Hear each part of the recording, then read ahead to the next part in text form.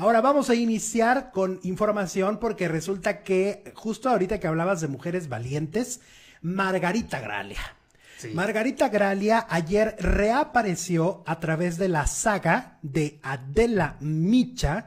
Ella regresó en una entrevista hace mucho tiempo que no la veíamos en un foro en un lugar eh, siendo entrevistada. Estaba ella y Laureano Brizuela. Los dos eran los invitados de la saga desde San Miguel Allende. Dos argentinos, ¿no? Dos argentinos, donde radica justamente en San Miguel Allende desde hace tiempo eh, Margarita. Tiene un negocio, ¿no? De churros. churros. De churros. También este creo que tiene una sucursal en CDMX, ¿no? Creo que ya la cerró, la ¿Ya la cerró? Sí. Uy, entonces nada más en San Miguel de Allende. Sí, creo que una vez que hablamos de eso aquí, mis faranduleros me dijeron que ya la habían cerrado. bueno, pues resulta que ahí en esa entrevista, además de contar, eh, fíjate, contó toda la experiencia de esto del derrame cerebral, ¿no? Que es un poco similar a lo que está sucediendo con Carmen Salinas. Y realmente Margarita Gralia está muy bien. Dice que solo le quedó la cicatriz de, lo que sucedió está en una parte del cerebro sobre la de la vista. Ella ve perfecto o sea, ve bien. El problema es que cambia lo que está viendo, ¿me entiendes? Es un poco dislexia, pero, pero de vista.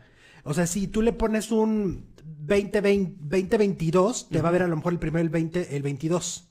Lo va a cambiar. Sí. ¿Ok? y esto es, esto es la cicatriz que para lo que tuvo es nada. En realidad, porque pues una persona con dislexia, ¿cuántas personas no hay disléxicas en el mundo, no? Este, mi hermana tiene, tiene dislexia y dislalia. Entonces, es, un, es un tema, pero realmente es muy leve en comparación.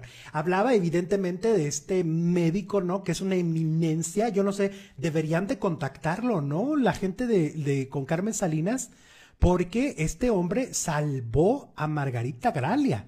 O sea, Margarita se, estuvo en coma, igual que doña Carmen. Marlene Favela también. También. poco dijo que tuvo un derrame. Fíjate nada más, entonces es un es todo un tema y hablaba de esto y hablaba de esta historia y la verdad padrísimo cómo lo cuenta, aun cuando siento que no le encanta tocar el tema, ¿eh? Siento que le, que le conflictúa y dice, mejor me voy rápido, como que trata de hablarlo rápido porque es algo muy complicado y como que dice, no, ya ni quiero, como que no quiere atraer. Recordarlo. Recordar, porque aparte hay unas cosas que ya no recuerda, dice, o sea, dice que su familia le dice, no, pero me hablaste por teléfono tal día y ella eso no lo recuerda.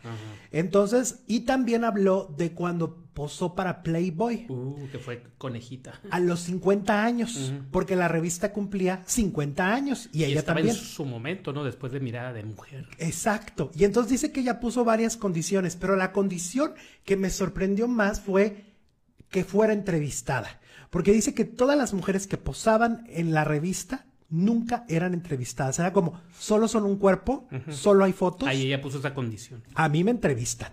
Y, y yo escojo a la fotógrafa. Y era fotógrafa, era la primera vez que una fotógrafa eh, era la de la portada, siempre era hombre.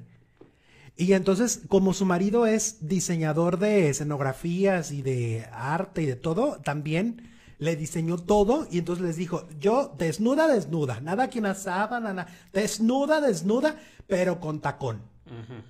El tacón tiene que ir. Y todas las fotos tenían tacón, con tacón. Entonces es muy interesante. Bueno, no estaba tan desnudo.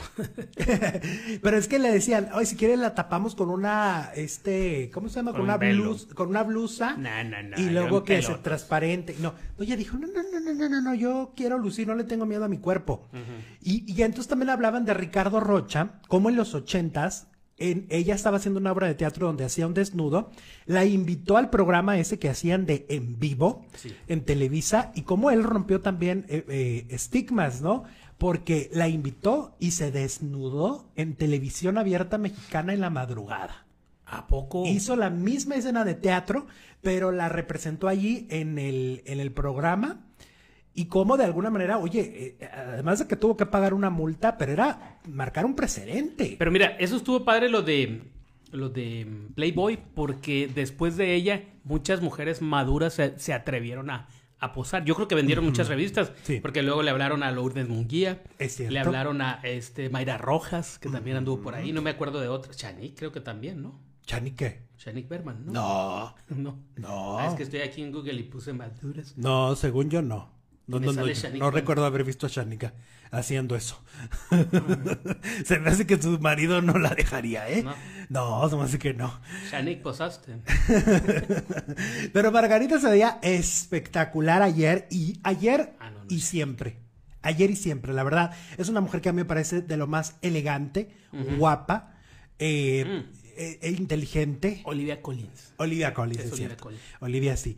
Y la verdad es que está increíble la entrevista. Vayan y chequenla porque sí es un muy buen regreso.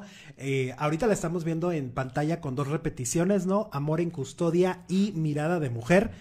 Y la verdad es que está increíble. Mira, ¿cuál Margarita. ¿no? Margarita. Amor en custodia porque era la protagonista. La prota, exactamente, la protagonista. Y bueno, gracias a todos los que se están sumando a esta transmisión completamente en vivo. Estamos en el chisme del espectáculo.